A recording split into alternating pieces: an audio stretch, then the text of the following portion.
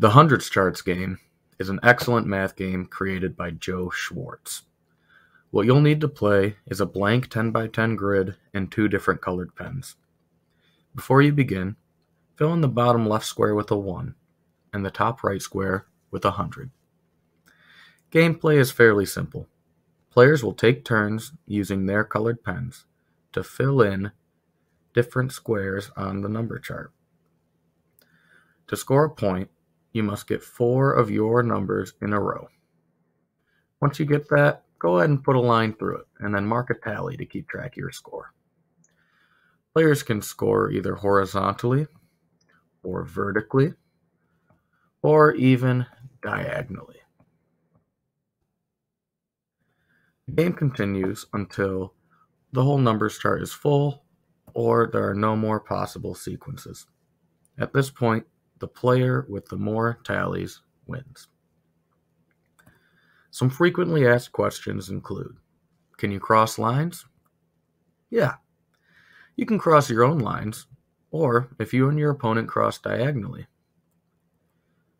Is five in a row worth two sequences of four? No.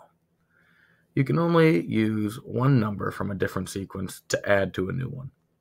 However, you can use one tile from multiple old sequences to form a new sequence.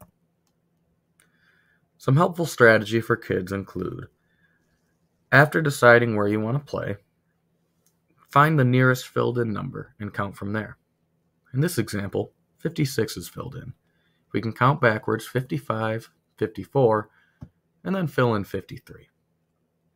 If you go vertically, remember that going up or down one box is equal to adding or subtracting 10. So in this case, we got 66, 76, and finally 86. When students get more familiar with the game, they may realize that a good strategy to employ is counting the rows for the tens place and the columns for the ones place, at least for the first nine columns. Using this method, you can easily see that the 20s row and the 4 column gives you 24. Variations of this game include using different numbers. For example, you can put 256 on the bottom left and 355 in the top right. I think that you'll find this game very engaging and encourages students to think strategically while getting more familiar with the hundreds chart.